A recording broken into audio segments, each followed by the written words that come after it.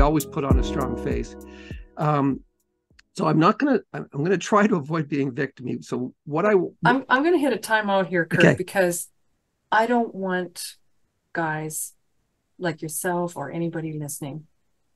The, the men's mental health around this, yes, is very concerning because they they feel that they aren't, you know, they have to be tough. They can't be the victim.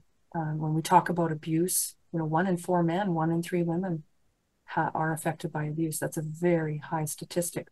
And a lot of people don't realize that men struggle with this. And men's mental health is just as important as women's and they have they have struggles too so i don't want to discount um you know the struggle whether it was from the father's side or the mother's side uh so please go ahead and you know we're gonna we're going to use that filter to listen to your story.